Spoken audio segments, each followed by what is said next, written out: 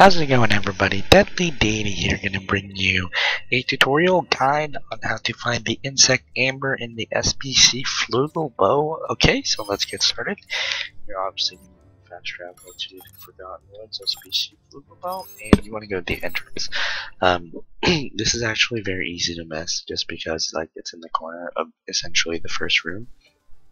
And while we are in this loading screen, if you could please kindly take a second to give this video a thumbs up and a sub below, that really helps me out more than you guys can think.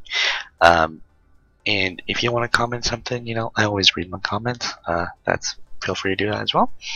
Otherwise, you know, we'll get started on this. Should not take more than like two minutes to actually find the location because I've, I've already seen where it is. I just haven't opened it just so I can actually do the quest and show you guys. No need to actually buff. I mean, it's your preference. If you want to go deal with these trash mobs, you can. So, just basically kill everyone if you want. Or every enemy, I guess. Just so, I'm, I'm just gonna do this just so you're not dealing with these guys. and you want to go up the stairs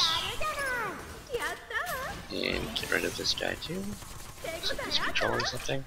So essentially, that's that's the direction where we came from, right there.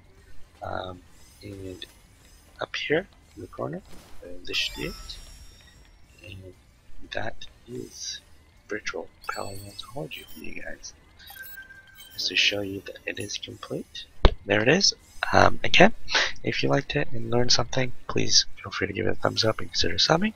Otherwise, I'll be seeing you in the next one, and thank you for watching. Goodbye.